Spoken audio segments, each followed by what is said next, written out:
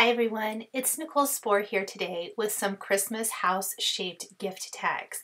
So I have been loving everything house-shaped lately and I thought it would be so super fun to create some house-shaped gift tags with the incredible Lawn Fawn Build a House dies.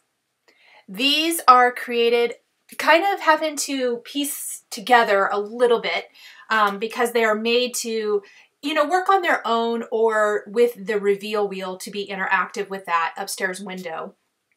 But I want them to be a front and back tag. So I want them to have a finished look. And it took a little trial and error to figure out the best way. Each tag is going to have a front and back, meaning I'm going to die cut the house shape twice. There is the window opening, so there will be a window opening in the back, but we will be backing the window with a yellow piece of die cut cardstock that can work to shine through both the front and the back.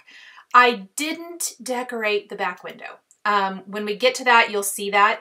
I'm thinking though, I almost wish I would have die cut another wreath and a bow to decorate the window. One of the great things about these tags is they actually only take two die collections. They take the Lawn Fawn Build-A-House dies for the base of the house and the Lawn Fawn Build-A-House Christmas add-on. So really simple in that respect. Now I am using the Honeybee Stamps Salvaged Bricks Stencil and some Pinkfresh Studio Misty Coast ink with a blending brush to apply that salvaged brick look to these Lawn Fawn Fog cardstock die cut houses. I'm really loving this fog color this year as well.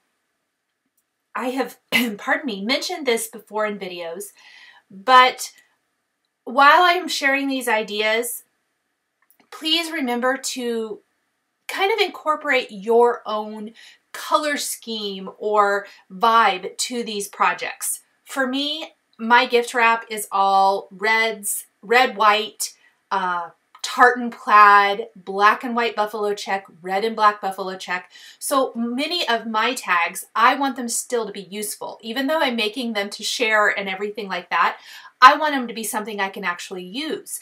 So mine are going to match the gift wrap that we're using this year. So that's why you're gonna see a lot of grays and black and a lot of red.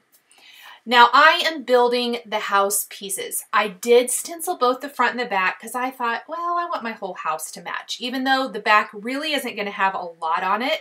The other thing, and I know I mentioned this a lot in my tag making videos, I always go into my tag making for the most part, uh, but when I'm making something intricate like this, with the idea that I want the recipient to be able to maybe use this afterwards. By backing these house pieces back to back and adding all the little die cut, you know, roof and all of the great little things, it's going to be really sturdy. But I want it to be really cute, really pretty, because if they want to hang it on the tree afterwards, you totally could. Um, these are really, really pretty little houses. I love how they turned out. Um, definitely a simplified simplified version of the gingerbread house uh, house-shaped card that I shared here recently using honeybee stamps because that creates that house-shaped card. So that's kind of the big version. These little houses are the smaller version and they really did make just the cutest little tags. I'm delighted with how they turned out. Now there's a little wreath and a little bow in the Christmas add-on that coordinates with this.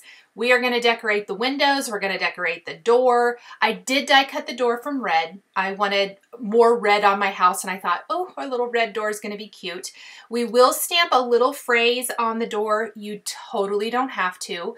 Um, this is going to be from the Simon Says Stamp Ho Ho Postage Stamp Set. I really looked through my stamp sets looking for something that would fit. The Peace and Joy sentiment fits. I will tell you, I almost used the Honeybee Stamp Santa's Workshop sentiment in the Gingerbread House add-on stamp set that I used for that card, which I will link at the end of this video. So if you want to see some more house type of ideas, you can check that out there. The um, Sentiment Santa's Workshop will fit on this door. There's also a North Pole sentiment. I believe it says North Pole from that. Uh, it will fit as well. I'm pretty, pretty sure. I chose not to use it for this, but I think it would be just as cute. So just kind of personal preference. I say shop your stash, see what teeny tiny sentiments you've got in your stash that are holiday themed that will fit on somewhere on this house. I just picked the door because I thought it was a great spot for it. Um, and add just a little something there that gives that Christmas vibe. Now, one of the most awesome things about the Christmas add-on is the lights. They are a little special. I did die cut them from Lawn Fawn Pearlescent Vellum and then the actual light string of lights from uh, Hero Hues Pitch Black cardstock.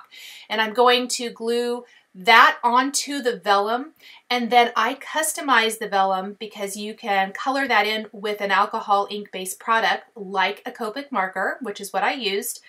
You can create colored Christmas lights. Well, mine are red and green because that obviously coordinates with the rest of my tag but you could do them in, in, any color. I briefly contemplated leaving them just the pearlescent because it has that gorgeous shine to it to them and having them be white lights on the house. I think the red and green has a little bit more of that Christmas vibe that I wanted for my card, but it's definitely an option if you want to. Um, they are a little tricky to work with. I did use Ranger Multi Matte Medium and I have a fine tip applicator. It's a Scrap Perfect applicator. There's a link to that in the supplies in the underneath here, underneath the video. So if you're wondering what I'm using, which is going to put a nice little thin line of glue, even at that, little bit tricky to work with. I highly recommend a pair of tweezers to kind of help hold them down until the glue dries. Once it's dry, it's fine, but kind of just manipulating them and probably what made it a little trickier is I'm using vellum.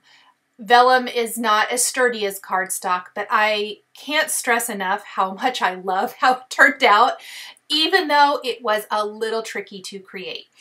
These are going to be tags. I did create three of them. I die cut all of the components off camera and then put them together.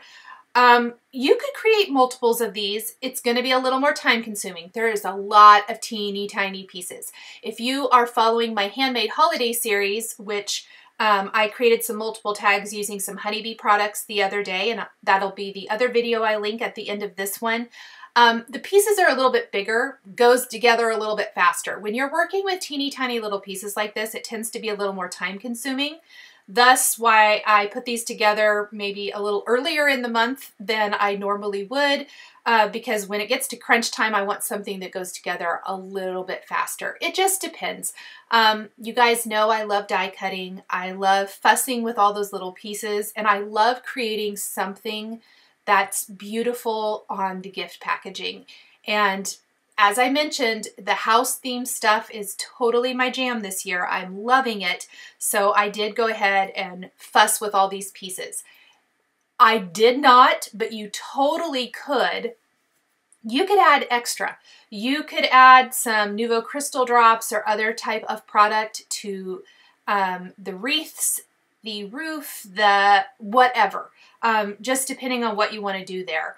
So there's other things you could do to dress these up even more if you want to. And definitely keep in mind you can die cut these and put these together in any color you want. Now I left this in because I want to show the error of my ways. I originally thought I am only going to decorate the front of the house. On the back, we're going to stamp our to and from. You can grab that from any stamp set that you have um, so that we have somewhere to write who the gift's for and then, you know, who's giving the gift. And I'll just add a little, you know, that, that house panel is going to be enough. It's not. When I looked at this, okay, you can tell that the roof hangs off the edges. The awning front on the lower level of the house, that hangs off the edges. And then the bottom piece does stick out further. I didn't like how that looked. So we really need to replicate that on the back if you want to give it a much nicer finished look. You don't have to add an extra door or anything like that. You could if you wanted to. You could add a back door. I did not. I did add the steps because that hangs off the edge as well. Um, but I did not add any of those extra things. But I also think you need to frame up the window. So I framed up the window. I had to go back and die cut those four pieces. I did die cut the steps to begin with, but I needed to die cut the three pieces to finish off the back of the house and the window piece from my dark slate gray cardstock. That's some Simon Says stamp cardstock, by the way. And then I did finish the bows on the front of my house with some Nuvo Crystal Drops and White Blizzard, meaning they're going to be nice and sparkly, which will help the bow on the door especially stand out from the red door. And adds that little touch of sparkle that I was looking for on my card. Now here I had originally just glued the stairs in place. I pulled them up before the glue dried. Um, I didn't care that it really ripped my tag because it'll I'll recover that up. But you can see that by adding these backing pieces, it really does make the back of the tag look so much better. And honestly, I and I'm just telling you guys straight up, I did not show it in the video. I don't show it in the finished tags, and it probably does not matter, but I will go in and add a wreath to the back windows of this house because I think it needs it.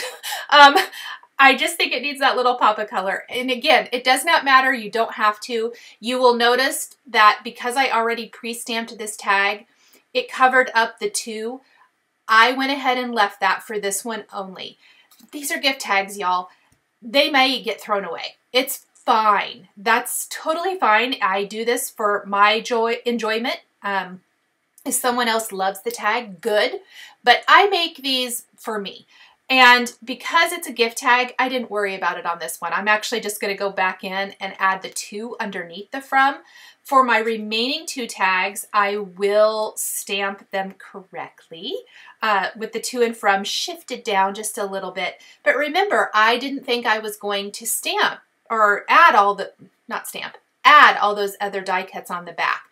I think it's important to kind of, I always, I know I mention this a lot, but I like to share along my creative journey the things I find that work and that don't work because there are always those things when we are creating in anything where sometimes it's a hit and sometimes it's a miss. Well, that was a little miss. I miscalculated um, how the back of my tag was going to turn out.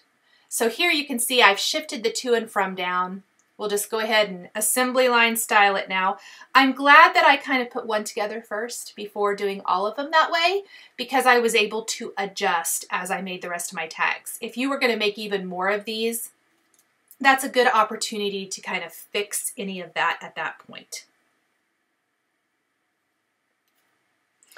Okay, stamping pretty much is done. We do have the front doors that we need to stamp with peace and joy, but we'll get to that. Let's just finish assembling our houses, both the front and the backs.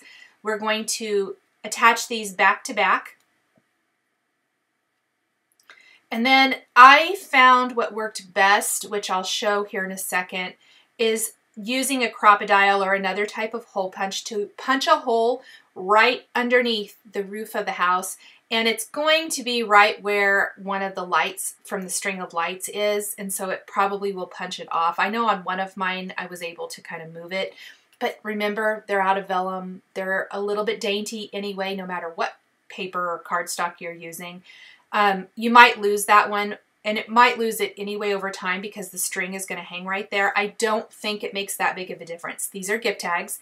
Um, and that just seemed to me the best place to put it that would be the sturdiest, that I wasn't going to have to worry about it ripping out or anything like that. So we're just going to assemble. You could even, if you wanted to, you could add another window on the back of your house. I probably would not. I will add an extra wreath, but I don't think I'll add anything else. But if you want to make it really, you know, back to back, you totally could but it does make a really cute little individual house. I wasn't sure how it was going to turn out to start with. I mean, I had this idea, but obviously you don't always know. Um, and I thought it turned out really cute. I love these house shapes. Um, I don't know, do you guys love them as well? I'd love to hear. Leave me a comment and let me know. Um, totally digging all the little house themed products out on the market and house dies especially. Here um, at Simon Says Stamp, we are celebrating December, which I am totally down for. I love die cutting. It's one of my very favorite things. Um, Love finding fun ways of using dies. This is definitely a project where I'm trying to find something else to do with dies rather than card making or the traditional type of card making, where I'm using products made for cards for gift tags. So definitely, I love shaped gift tags, like unconventional shaped gift tags. As much as I love just that standard tag shape and creating all kinds of cute designs with it, I really, really dig the untra- or the non-traditional rather uh, shaped tags. So we're just finishing off these last little bit. Really, the assembly of these went together fast. If you have all the components ready to go, and I like to kind of stack them into little piles. When I'm die cutting, I die cut assembly line style too. I did all, anything in light gray, anything in dark gray, anything in red, anything in green, and then all the yellow. That was kind of my uh, prog or progression of how I die cut things, but I would stick them in stacks so that when I went to make the tag, I could just grab from my stack and put it all together. There we're just sandwiching the front and the back together to finish it off. Aren't these so cute? I don't know. I was really happy with how they turned out. I just, um, I love when something in my mind turns out the way I think it's going to. And I love, I mentioned this in my video for honeybee stamps, but I love that these companies are coming they come out with the base. So this is the Build a House base from Lawn Fawn. There's the Halloween add-on, there's the Christmas add-on. I love that they are including add-ons in um, you know, subsequent releases or subsequent subsequent, how about subsequent releases that can be used with that first die purchase. So it really extends the life of the product, which I absolutely love. Here I'm just assembling those lights again and then very carefully, I think the straight line one is a little bit fussier just because there's so much play in it and I want it to be exactly straight. That's probably just me. It doesn't matter if it is or not, but um, I wanted it to be perfectly straight along the little cute house there. And so I would play with it quite a bit. And then I'm pinching it with my tweezers to hold it in place. You can color the lights when they're on the house or not. You're going to have to be a little more careful when they're on the house. On this one, I think I forgot. And so I'm coloring them when they're on the house here and just very, very quickly, one red marker, one green marker, really, really fast. But I think it adds a huge difference to that cute little finished house. Think we've got some stairs left and then it's time to finish it up. Oh, it looks like I've got a sentiment left to stamp on this one as well. So not too much left to finish up my tags. We'll punch holes, add string, and they are ready to go. Now I'm just going to take that Crop-A-Dile and punch a little hole in the top. Any type of hole punch that's nice and strong that can go through a couple of layers of cardstock I would highly recommend. I've had this forever and so it just seemed like the perfect thing to use. I've got some red and white baker's twine left over from the Simon Says Stamp tag kit for, for this year that uh, sold out here a couple weeks ago. I have lots of that left, so I've been using it on all my tags because it matches it perfectly. I love that. And I love the little red and white pop there at the top. I think it works great. So we're just going to punch a hole in the top of each, thread through our red and white baker's twine, and that is going to finish up these Christmas house shaped gift tags. Thank you guys so much for joining me today for some more gift tags featuring, these are featuring Lawn Fawn dies and then some Simon Says stamp greetings and a Honeybee Stamps stencil. The supplies I use to create these gift tags are listed and linked below the video here on YouTube. If you enjoyed this video, please give it a thumbs up and be sure to subscribe to my channel and hit that notification bell so that you never miss a new card making or paper crafting video. Here are a couple more videos, one featuring a house-shaped Christmas card and the other featuring some gift tags. We can always use more ideas for gift tags. Thank you so much for joining me today. Happy holidays, and we'll catch you next time.